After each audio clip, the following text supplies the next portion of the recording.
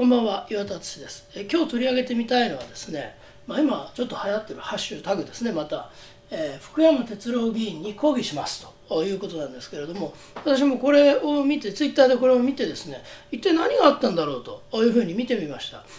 私はですねこの間も申し上げた通りあのこのハッシュタグが来たからですねこれに賛成だとか反対だとかすぐ飛びつくのは良くないというふうに考えてますからその内容について、まあ、見てみようということでですねまず自分自身のあこの批判とかですねより前にこの内容を見てみることにしました。で内容を見てみるとですねまずですね、えー、福山哲郎議員が5月1日の参院予算委員会で質問してるわけですね。この時に、えー、尾身先生という今よくテレビでも出ていらっしゃる、えー、この専門家の方ですね。でその専門家の方私はねこの方は本当に今日これ見ててですね気の毒になっちゃったんですけれどもこんなにねあの一生懸命ご尽力されてる方をですね、えー、どんなことをしたのか日本の国会議員は。あの子供に見せられない大人というのがあるとしたらこんな人たちなんじゃないのかなというふうに私は思いました。最初は良かったんです。まずこの間の大変なご尽力に心から感謝申し上げますというところから始まってですねこれはまあ大人ですよね。これは当たり前のことですけれどもまあ本来であるならばですね国会なんていうところに来なくていい人たちですからでその人たちがままずそのいろんなあのご努力されてる上にさらに国会にまで来てですねこうお話しされてるわけですから本当にまああのご尽力にですね感謝申し上げますという私はその通りだというふうに思います。あの囚人監視の中で答えるっていうのはなかなかねそのプロプロフェッショナルじゃなければこれなかなかねパッと答えられるのは難しいと私は思いますね。で結局ですねこの福山さんが何回もずっとあの総理にもですね問いただしてて私も聞いててねこれ大丈夫かなというふうに思ったんですけれども結局あの感染者は何人いるんだというふうにあの、え、総理に問うわけですよね。でこの無症状でですねで感染者は何人いるんだとでいうことをずっと言うんですけれども何人いるってこれね答えられるはずないんですよ。それを全部調べてね何かやったっていうことがあればできるけれどもそれは答えられませんと。いやだからどれぐらいだと思ってるんですか？というふうに言われた。思ってるっていうね推測で答えることはこれできないし、えー、ある方はあ統計学的に10倍ぐらいいるんじゃないかというふうに答えたと。でその言葉尻捉えてですねじゃあ10倍なのか20倍なのか30倍なのかというふうに言ってでそれでその尾身先生にですね質問をしたわけです。で何一体何人いるんだと。10倍なんですか？20倍なんですか？30倍なんですか？という質問に対してでそれは答えることはできないと。私ねこれね誠実な態度だと思いますよ。大体何人とかまあ統計学上こうだっていうのはその専門の立場からそういうことを言えるのかもしれませんけれども普通私もですね答えろというふうに言ったら答えられないというふうに、え申し上げますねどうあるか分からないただ答えられないだけでは何か答えてることにならないと思ってですねこの尾身先生というのは東京都の陽性率の話をしましたで東京都の陽性率は7%だとおいう話を話をで初めてなんかちょっと説明してたらちょっと短くしてくださいよとかこのね言い方がねこうなんていうのかな本当にこの日本のこのヤジっていうのはですね恫喝めいてめいて聞こえるんですよね。でそれがでまあ分かりました分かりましたって丁寧にお答えされてたんですけれども東京都の陽性率が7%だとでもこれはこの医療機関に来てかかった人たちのが7%なんだからえ来てない、え普通の地域のコミュニティの人は7%より低くなると考えられるのが、え一般的だと。ここもね低いですとまでははっきり言わなかったんですよ。低く考えられるのが一般的とかな、えー、これまでのところだったらそう考えられますと。いうふうに答えて丁寧にねあのやっぱ科学を尊重されてるんだなというふうに思ったのは根拠がないことはなるべく言わないと。いうことで立派な態度だなというふうに私は思いました。でそしたら何と言ったかっていうとね全く答えていただけませんでした。残念ですと。いうふうに言ったんですけど。いや答えてるじゃないかと。だからこれはね日本語はね正しく使いましょうということで久しぶりに添削したいというふうに思いますけれども全く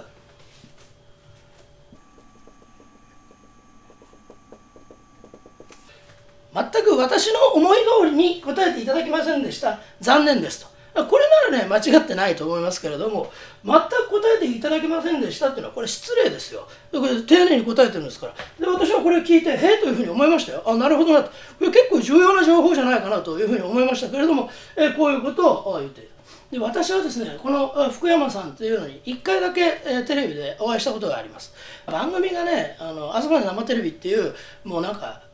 議論のプロレスみたいなものでしてねで要するにこの何ていうのかな冷静に論理を積んでいくっていう議論をしようとしてもですね途中で怒鳴られたり、えー、もうこの話が変えられたりですねなんか司会者の方からね「そんな聞いてじゃない!」とかなんかいきなり 言われたりとかする番組なのでまあこの時は私はですねまあこう番組の特性上しょうがないかなというふうに思ったんですがそれでもちょっとね腹が立ったことはありましたそれはなぜかと言ったらですねちょっと時期は忘れましたけれども立憲民主党にもうすでになっていた。で立憲民主党になっていた時に、えー共産党とですね、えー、こう一緒になっていろいろ何かやろうとするということをですね私が、えー、そういうことをねやっているということを批判し始めたんですよ。最後まで批判してないんですよ。批判し始めた瞬間にいきなりまさにねこれちょっと短くしてくださいよってねこの方の中ではこれはね丁寧語なんですよきっとね。私にはねこうやって言いましたよ。公共の電波使って嘘言うのやめてくださいよっていうふうに言うんですよね。でね、あの番組がひどいのはね、それでね、はって私が言ってチャーチャーチャチャラーとか言ってね、そこで CM に入っちゃって、私の反論する時間ないんですよ。なんか、私がまるで公共の電波で嘘言ったみたいなね、こう印象づけられて、本当にね、あ、これはひどいなというふうに思った記憶があるんですね。まあ、ただ何度も申し上げますけど、あれはね、まあ、プロレスみたいなもんだから、別に私はそこを深くね、恨むつもりないし、あの、私の方がもっとうまくね、あ言ったらよかったのかなというふうに思います。で、私もそれ、もう知って言ってですから別に言われたってああのなんていうのかなあどどうってことないやというふうに思いますけれども。この尾身先生っていうのはそんな自分からですね行って議論の場に行って誰かとあのなんか議論ぶつけてあってやろうというんじゃなくてあのあくまでですねこう何か参考となる情報をですね提供するという役割で言ってる人に対してこのね自分が思い描いた答えとあの違うということ。でもね思い思い通りの答えをね言う人はね私いないと思うんですよ。あのいるとしたらまあもうグルですね。自分のなもう仲間がいてもう10倍も20倍も30倍も見ますとでも言ってね違ったらどうするんですかそれ。責任取れないでしょそれ。10倍いますって。なんで10倍ってじゃあ根拠なんですかって必ず聞かれますよ。10倍であってね11倍じゃない理由は何ですか？とかね。じゃ20倍って言ったらね18倍じゃない根拠は何ですか？とか。いくらでもねそんなことはあの言える話なんですね。ですからあくまで確実に今分かってる自分がこの質問に対してどれぐらい感染者がいるのかっていうのを考える際の基準となるものとして東京都の陽性率がこれ7%というのが出たからしかもこれは分母と文章がかなりなんか大きくなったみたいでかなり正確なものだからこれと比べて、えその、え医療のコミュニティに行ってない人の方が低くなるのはあ常識だと今までのは常識だったと。ただもしかしたら慎重なんですよ。だからもしかしたらそっちも多くなる可能性は否定してないんですよね。だからそれはそうそれ慎重だというふうに思ったんですけどまあ私もこれ聞いてまあそれは誰もが納得するだろうというふうに思ったのに、えー、全く答えていただきませんでした。残念です。全く私の思い通りに答えていただきませんでしたと。ああいうことを言ってた。でここから何が分かるかっていうふうに言ったらですねなんかね今回の今回のこの中国初の病のこともね真剣にやろうとしてるのか対策しようとしてるのかっていうのを私はこの野党の人に問いたいと思いますね。この尾身先生をですねなんかこう瞳悟空にしてですね何かやってその自分たちのね支持率を上げるための道具にしようというふうにしてるようにしか見えなかったんですね。つまり安倍総理を追及するための何か言ってくれよと攻撃の材料を出してくれよというふうに言ってるようにしか聞こえなかったけれどもそういうことをやってる時期ではないだろうというふうに思います。でさらに言えばですねこういう方々の専門家の方々がいたことによって今の日本の対策っていうのは世界の中で見てもですねかなり死者が少ないレベルに抑えられていると。だだとしたら次はですね私は大事だと思っているのはこの死者を低い状態に抑え込みながら